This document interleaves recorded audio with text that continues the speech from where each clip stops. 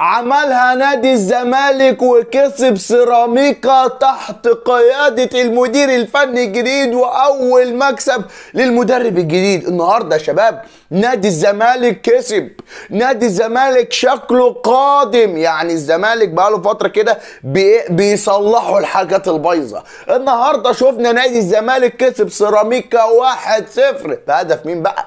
بهدف الجزيري الجزيري اللي كان طاير في الدور ال 13 عمل لي حتة رونالدو كده وراح حاططها في الجون كده يا برنس. وكان الهدف الأول لنادي الزمالك. تقدر تقول كده يا برنس؟ نادي الزمالك كسب النهارده كده بشق الأنفس. تقدر تقول نادي الزمالك كسب النهارده كده بصعوبة جدا؟ ولكن كسب ولكن كسب. لأن نادي الزمالك في الفترة اللي فاتت أيام البروف في آخر ايامه الراجل يعني كان الزمالك حتى لو وحش كان بيخسر برضه. كان في مشكلة في نادي الزمالك. ولكن نادي الزمالك النهارده مع اوسوريو المدرب الجديد الراجل الصراحة بصمته باينة.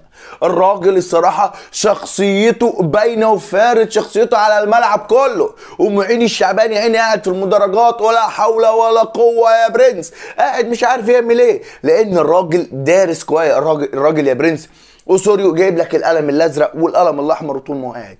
يكتب آه ده غلط آه ده مش عارف سوق ده مش عارف عمل إيه طب ثواني ده هبب إيه؟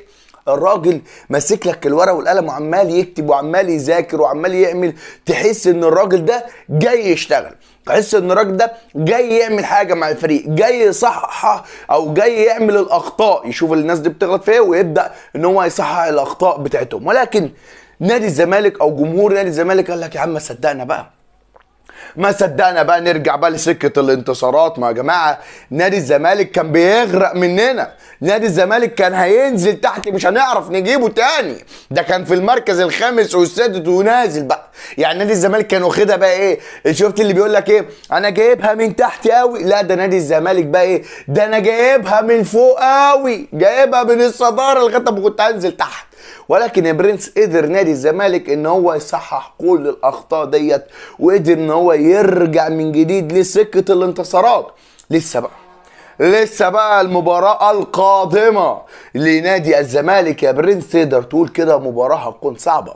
وهي السوبر المصري ما بين الأهلي وما بين الزمالك. مباراة مرتقبة مع المدرب ده مع كل مرة بيصحح اخطائه كل مرة بيذاكر حاسس المدرب ده هيعمل حاجة مع نادي الزمالك. مدرب بيذاكر جدا. شفنا يا برنس اللعيبة بتتحرك كتير. شفنا يا برنس ابتدى يعتمد على سكر دوت. يا برنس الواد ده كويس جدا وابتدى. يا جماعة نادي الزمالك جواه ناشئين ممتازة جواه ناشئين ممتازة. يعني سيبك بقى من اللعيبة اللي هم جابوها ده بملايين ومش بملايين. ولكن اركن وإبراهيم نضاي. إبراهيم نضاي. يعني عم إبراهيم نضاي الراجل اسوريو المدرب الجديد ما صدق إن هو ي... أو أنت ما صدقت إن هو واحد يجي يديك فرصة. الراجل قال لك أشوف الراجل إبراهيم نضاي ده اللي بياخد بتالي 100 مليون كده يعني جات له كورة يعني جات له كورة حطها بقى.